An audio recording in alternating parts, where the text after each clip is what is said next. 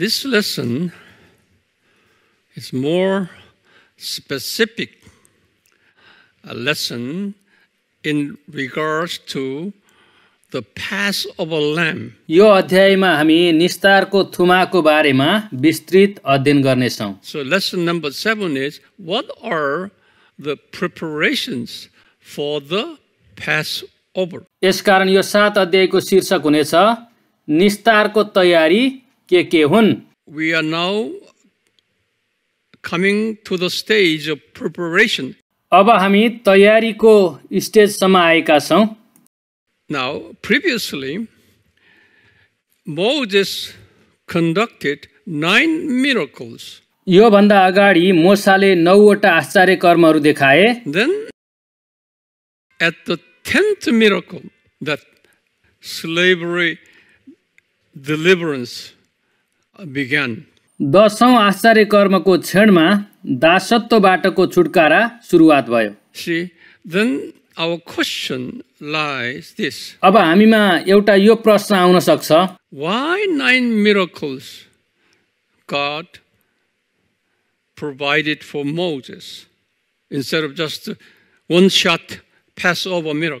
परमेश्वरले मोसालाई त्यही एउटा शक्तिशाली निस्तारको आश्चर्य कर्म दिनुभएको भए त भइहाल्थ्यो। ती नौवटा किन दिनुभएको होला त?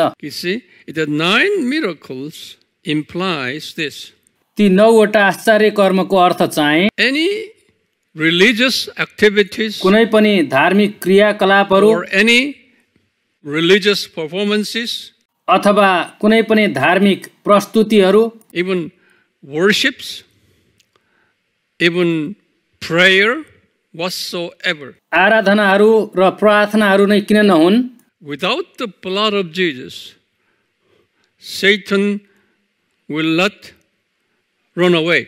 यसुको रगत बिना शैतान भाग्ने छैन This is a very important message hidden inside of this. यस्तो महत्त्वपूर्ण सन्देश यो भित्र लुकेको छ All religious activities not involving the blood of Jesus will not be valid for deliverance. प्रभु येशूको रगत बिनाका कुनै पनि धार्मिक क्रियाकलापहरूले हामीलाई छुटकारा दिन सक्दैनन् In other words, Satan, King Pharaoh, would not be afraid of अर्को अर्थमा राजा फारो अथवा शैतान यी कुराहरूदेखि डराउँदैन only Satan's fear lies in the blood of Jesus. शैतानको डर चाहिँ प्रभु येशू क्रिस्टको रगतमा मात्रै छ So Christian services, यसकारण इसाई सेवाहरू Christian music, इसाई सङ्गीतहरू Christian activities without involving, without teaching the blood of Jesus, येशूको रगत सामेल नभएका कुनै पनि इसाई क्रियाकलापहरू then we enjoy, however, Satan will not be afraid of that. ती सेवाहरूले हामीलाई त रमाइलो देला तर शैतान चाहिँ डराउँदैन So it's a key message to our Christians and Christians who are involving in worship services. यो चाहिँ हामी सबै इसाईहरूको लागि र आराधनामा सहभागी इसाईहरूको लागि एकदमै महत्त्वपूर्ण शिक्षा हो Always teaching them in connection with the blood of Jesus. हामीले जहिले पनि उनीहरूलाई यसुको रगतसँग जोडिएको शिक्षा दिनुपर्छ That is very important message, critical message to all of us. त्यो चाहिँ हामी सबैको निम्ति एकदमै महत्त्वपूर्ण सन्देश हो Nine miracles, thinking the nine miracles. King Pharaoh, he was not afraid of. ती नौ आश्चर्य कर्मले राजा फारो डराउँदैन In the beginning, he showed gesture that, oh, I'm afraid. सुरुमा चाहिँ उसले एकदमै डराए जस्तो गर्यो later he said, I, I will change my mind. तर पछि गएर उसले आफ्नो मन बदल्यो So you read Exodus chapter 7, 8, 9, 11. तपाईँ यो सबै घटनाहरू प्रस्थान सातदेखि एघार अध्यायसम्म पढ्न सक्नुहुन्छ In order to teach how significant tenth miracle is, दसौँ आश्चर्य कर्म कति महत्त्वपूर्ण छ भन्ने कुरा सिकाउनको लागि God allowed nine miracles.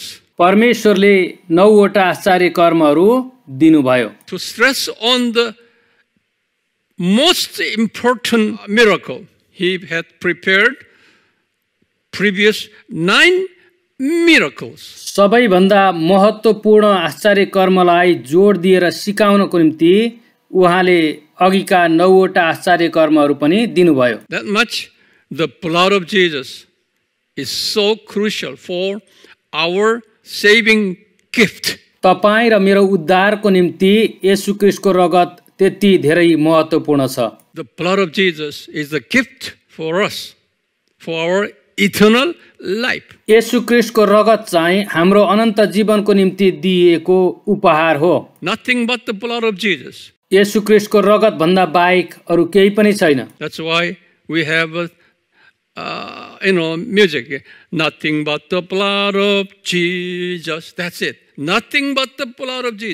त्यसै कारण हामीले गाउने एउटा भजन पनि छ यसुको रगत बाहेक अरू छैन required for salvation. Nothing but the blood of Jesus. हामीहरूको उद्धार र मुक्ति चाहिँ यसु क्रिस्टको रगतबाट मात्रै सम्भव भएको छ Evangelical Christians always emphasize on the value of the blood of Jesus. सुसमाचारवादी इसाईहरूले जहिले पनि यसु क्रिस्टको रगतको महत्त्वलाई जोड दिन्छन् which is the only salvation gift for us किनकि त्यो मात्रै हामीहरूको मुक्तिको निम्ति दिइएको उपहार हो। For that reason we reject religious pluralism यसै कारण हामी बहुधर्मवादलाई इन्कार गर्छौँ। Religious pluralism where all religions are the same बहुधर्मवादले चाहिँ सबै धर्महरू एउटै हुन् भनेर सिकाउँछ। Teaching we reject that based on that Bible teachings हामी यो बाइबलीय शिक्षाको आधारमा बहुधर्मवादलाई इन्कार गर्छौँ दसौँ आश्चर्य कर्मको दिनमा chapter 12. जुन प्रस्थान बाह्र अध्यायमा छ In Exodus chapter 12 is a Passover chapter. प्रस्थान बाह्र अध्यायमा निस्तारको विवरण छ We have studied already. At the time, Israelis used the civil calendar. हामीले सिकिसकेका छौँ कि त्यो समयमा यहुदीहरूले नागरिक पात्रो चलाउँथे On that particular day was July the 1st in civil calendar.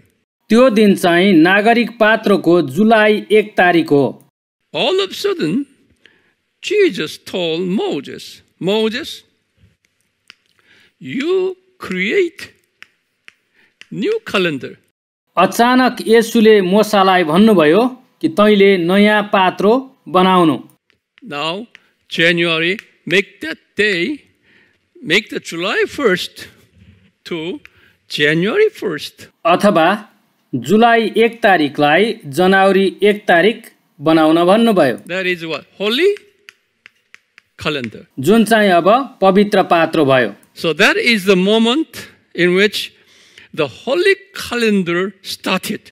यसरी पवित्र पात्रोको सुरुवात भयो From that time on, in the history of Israel, two types of calendars existed, even up to now. त्यो समयदेखि इजरायलीहरूको इतिहासमा दुई किसिमका पात्रोहरू प्रचलनमा आए जुन अहिले पनि छँदैछ Because of that Passover event, new calendar initiated. यसरी निस्तारको घटनाको कारणले नयाँ पात्रो सुरु भयो So, in order to teach you this, I have presented you the calendar system.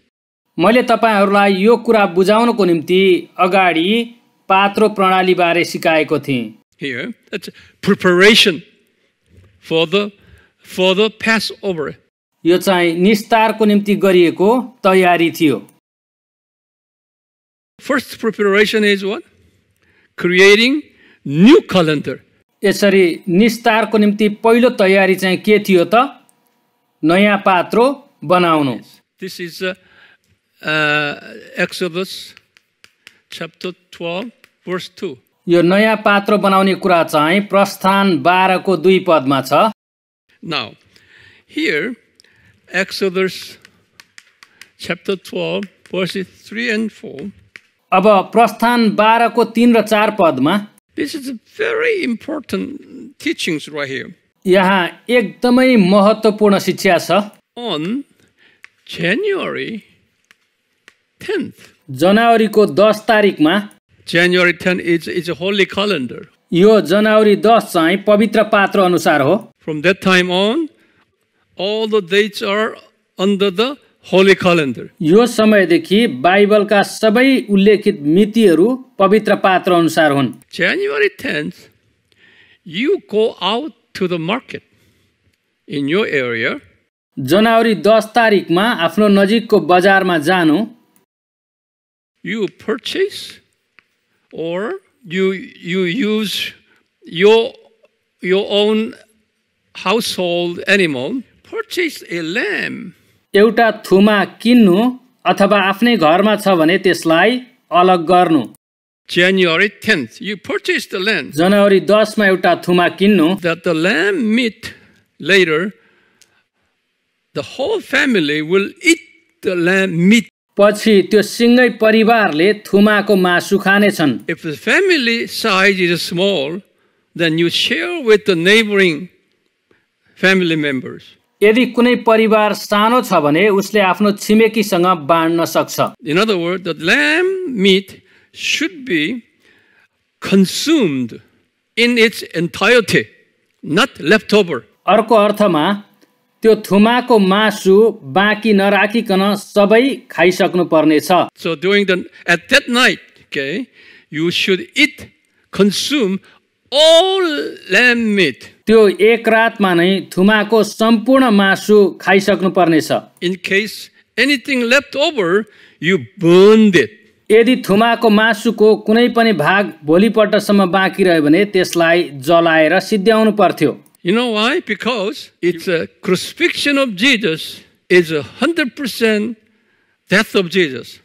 किनभने यो येशु प्रभुको क्रुसको सय प्रतिशत मृत्युको सङ्केत हो That's why you burned 100% sacrificial lamb. बाँकी रहेको जलाउनु चाहिँ थुमाको शत प्रतिशत बलिदानको चिन्ह हो That is the spiritual uh, elements involved. यो चाहिँ आत्मिकी अर्थ हो No leftover at all. केही कुरा पनि उबार्न पाइँदैन थियो Therefore, you go out to the market, you purchase, or any animal in your house.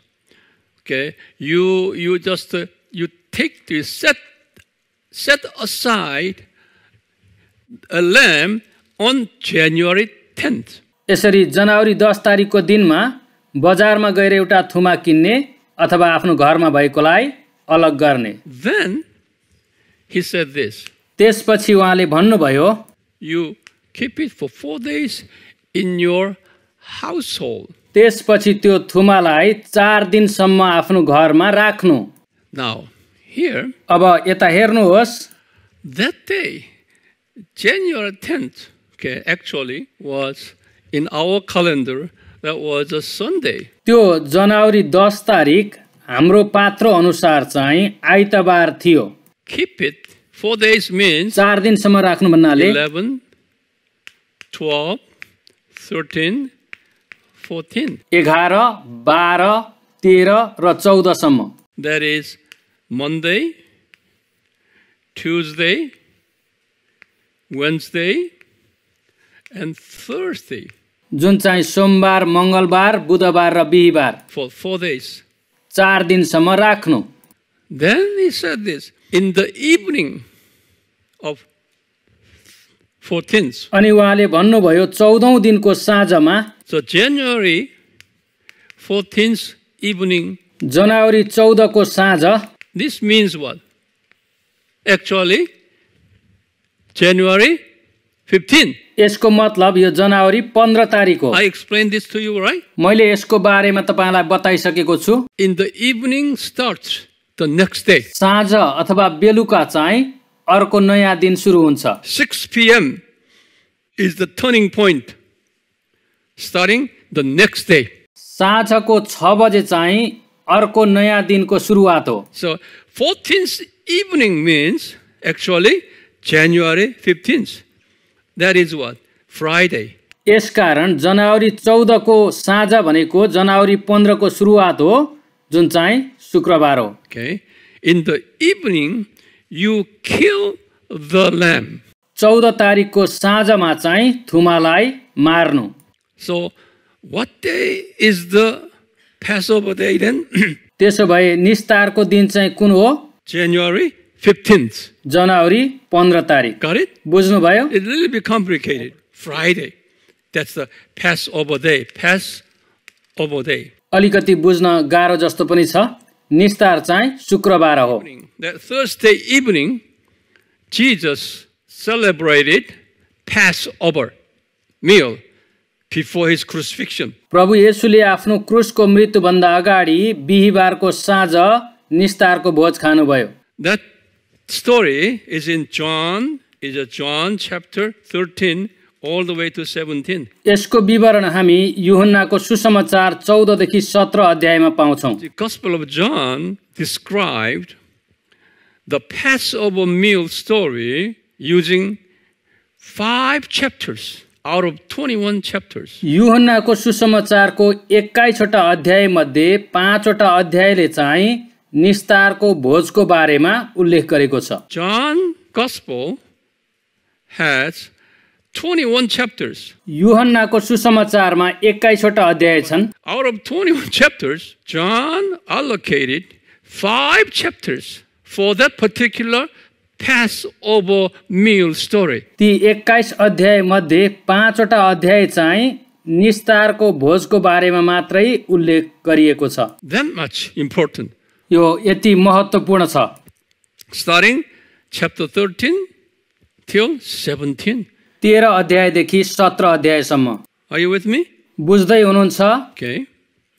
After the Passover meal, that is uh, Thursday evening, बिहिबार साँझको निस्तारको भोजपछि we call it Last Supper. जसलाई हामी अन्तिम रात्रि भोज भन्छौँ Then he was arrested. त्यसपछि यसु पक्राउ पर्नुभयो Then next day, which is uh, Friday, 9 a.m., त्यसको भोलिपल्ट शुक्रबार बिहान नौ बजे he was on the cross crucified. उहाँ क्रुसमा टाँगिनु भयो then 3 p.m., अनि दिउँसो तिन बजे he died. उहाँको मृत्यु भयो That's a Passover. त्यो चाहिँ निस्तार थियो That's a Friday, 3 p.m. त्यो चाहिँ शुक्रबार दिउँसो तिन बजे थियो How about 6 p.m.? त्यसको बेलुका छ बजे के हुन्थ्यो At that day, is starting Saturday. Okay, that is a Sabbath. त्यो दिन बेलुका छ बजेदेखि चाहिँ शनिबार सुरु हुन्थ्यो जुन चाहिँ सवात हो So keep that lamb for how many days? त्यो थुमालाई कति दिनसम्म राख्नु पर्थ्यो Four days. That is very significant, which I'm going to tell you later. चार दिनसम्म जसको एकदमै महत्त्वपूर्ण अर्थ छ त्यसको बारेमा म तपाईँहरूलाई पछि सिकाउनेछु You you should not purchase any kind of lamb. There are specific qualifications for the lamb. थुमा पनि जस्तो पायो त्यस्तो किनेर हुँदैन थियो थुमाको बारेमा विशेष गुणहरू दिएको छ It's qualifications. थुमाको योग्यता अथवा गुणहरू Here in Exodus 12, verse 5. प्रस्थान बाह्रको पाँच पद This is also very, very important. यो पनि एकदमै महत्त्वपूर्ण छ Okay. Here, first qualification is this without blemish. पहिलो गुण चाहिँ यो निष्खोट हुनु पर्थ्यो Without blemish means निष्खोट भन्नुको अर्थ in Leviticus 22, 22 to 24. You just read it later. लेबी बाइसको बाइसदेखि चौबिसमा तपाईँ हेर्न सक्नुहुन्छ No injured, चोट नभएको no blind, अन्धो नभएको no broken legs, कुनै अङ्गभङ्ग नभएको no diseased, eh, skin disease. छाला सम्बन्धी कुनै रोग नभएको It describes right here. यी सबै गुण उल्लेख गरिएका छन् Okay, that particular animal should be 100%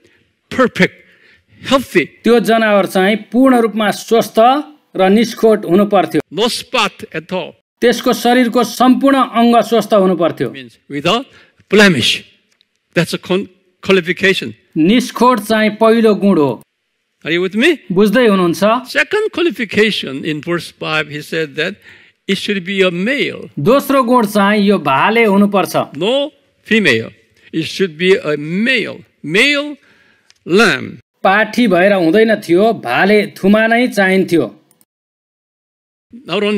त्यति मात्र होइन यो एक वर्ष थुमा हुनु पर्थ्यो यी तिनवटा गुणहरू इन प्रस्थान बाह्रको पाँचमा छ। पहिलो गुण निष्खोट। Number two is a, should be a male. दोस्रो गुण यो भाले हुनु पर्थ्यो Third, one year old. तेस्रो गुण एक वर्षको हुनु पर्थ्यो In Leviticus 22 19, लेबी बाइसको उन्नाइसमा Moses was told that मोसाले यो आज्ञा पाए because it was so difficult sometimes, कहिलेकाहीँ यस्तो थुमा पाउन गाह्रो हुन्थ्यो limited number, number of lamb, किनकि थुमाहरूको सङ्ख्या पनि सीमित हुन्थ्यो because you're considering 2 million Israelites. बिस लाख इजरायलीहरूको बारेमा तपाईँ कल्पना गर्नुहोस् Jesus allowed other animals यसुले अरू जनावरहरू पनि अनुमति दिनुभयो like ox जस्तै साँडे or cattle, भेडा वा बोकाहरू so extended the animals. अरू जनावरहरू पनि थपिए Ox, साँडे cattle, घरपालुवा जनावर and goat, बोका and sheep. र भेडा Later, uh, for the poor people, even pigeons. पछि गरिबहरूको लागि परेवा पनि अनुमति दिइयो But all this, all these animals, qualification is right here. तर यी सबै जनावरहरूको गुण चाहिँ एउटै हुनु पर्थ्यो Without blemish, निष्खोट should be a male भाले and should be one year old. र एक वर्षको These three qualifications is the perfect qualifications of Jesus Christ. यी तिनवटा गुण चाहिँ येशू क्रिस्टमा भएका सिद्ध गुणहरू हुन् it indicates who Jesus. यसले चाहिँ येशू क्रिस्ट को हुनुहुन्छ भन्ने कुराको सङ्केत गर्दछ is without no sin, येशू क्रिस्ट पाप रहित हुनुहुन्थ्यो Jesus came to this world as a male, येशू यो धरतीमा मानिसको रूपमा पुरुष भएर आउनुभयो is a human 30 years old, equal to One new all. मानिसको तिस वर्ष चाहिँ जनावरहरूको एक वर्ष हो भनी तुलना गरिन्छ। इट्स वन यो all animal these animals most energetic and most powerful के मोस्ट हाई प्राइस मोमेन्ट एक वर्षको जनावर चाहिँ सबैभन्दा बलियो सबैभन्दा शक्तिशाली र सबैभन्दा उच्च मूल्यको हुन्छ। मोस्ट healthy, सबैभन्दा स्वस्थ most expensive, सबैभन्दा महँगो energetic. र शक्तिशाली बेला In the same way, human 30 years old त्यसै गरी मानिसको तिस वर्षको उमेर is youth, most energetic, most active, valuable, जवान सक्रिय र धेरै महत्त्वपूर्ण हुन्छ very valuable, pricey age. यो चाहिँ धेरै महत्त्वपूर्ण र मूल्यवान उमेर हो। At that age, Jesus died on the cross. त्यो उमेरमा प्रभु येशू क्रिस्ट क्रुसमा मर्नुभयो। He presented his uh, best time. उहाँले आफ्नो जीवनको सबैभन्दा महत्त्वपूर्ण उमेरमा जीवन दिनुभयो। The three qualifications. त्यसकारण यो निस्तारको थुमामा हुनुपर्ने तिनवटा गुणहरू सम्झनुहोस्। I just briefly went over the preparation for the Passover. मैले तपाईँहरूलाई छोटकरीमा निस्तारको तयारीबारे बताएँ Let me just uh, briefly repeat here. म छोटकरीमा फेरि दोहोऱ्याएर बताउन चाहन्छु First, he asked Moses to create the new calendar, सुरुमा उहाँले मोसालाई नयाँ पात्र बनाउन भन्नुभयो which is what? Holy calendar. जुन चाहिँ पवित्र पात्र हो Under that system, he said, on January 10th, that is Sunday, त्यो पवित्र पात्रको जनवरी दस तारिकमा जुन चाहिँ आइतबार हो you go out and you, you go out and prepare, you purchase a lamb. त्यो दिनमा बजारमा गएर एउटा थुमा किन्नु Later, and extend it to other animals, पछि अरू जनावरहरू पनि अनुमति दिइयो ox, cattle, साँडे and goat, and sheep, बोका भेडा even pigeons. अझ परेवा पनि But that is what should be qualified under these three conditions. तर ती जनावरहरूले यी तिनवटा शर्त चाहिँ पुरा गरेको हुनुपर्ने थियो So you just take it in your household for how many days? For four days. यसलाई लगेर चार दिनसम्म आफ्नो घरमा राख्नु पर्ने थियो Why four days? किन चार दिनसम्म राख्नु पर्ने होला Because of number four means is a testing, किनकि अङ्क चार चाहिँ जाँच्ने समय हो examining period. जाँच्ने अवधि You're testing whether those animals that you have kept in your house meet the these three qualifications. किनेर घरमा राखेको त्यो जनावरले यी तिनवटा शर्तहरू पुरा गर्छ कि गर्दैन जाँच गर्ने? त्यो जनावरमा कुनै खोट छ कि छैन भनेर जाँच गर्ने अवधि। परमेश्वरले चार दिनको अवधि दिनुभयो।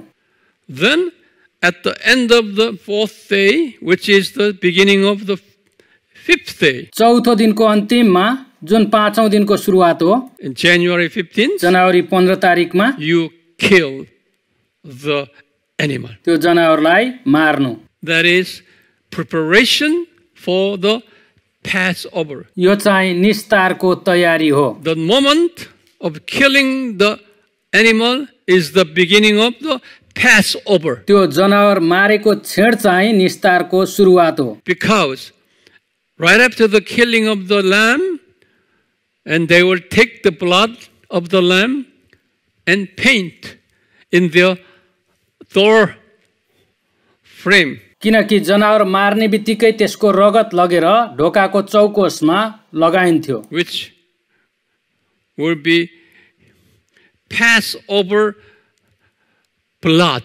त्यो चाहिँ निस्तारको रगत हुन्थ्यो Not only eating all meat, त्यसको सबै मासु खाने मात्रै होइन but also you paint with the blood on your household doors, entrance, door frame. त्यो जनावरको रगतलाई ढोकाको चौकोसमा लगाउनु पर्थ्यो Okay, let me stop right here. म यसलाई यहीँ टुङ्ग्याउन चाहन्छु परमेश्वर तपाईँहरूलाई आशिष दिनुभएको होस् आमेन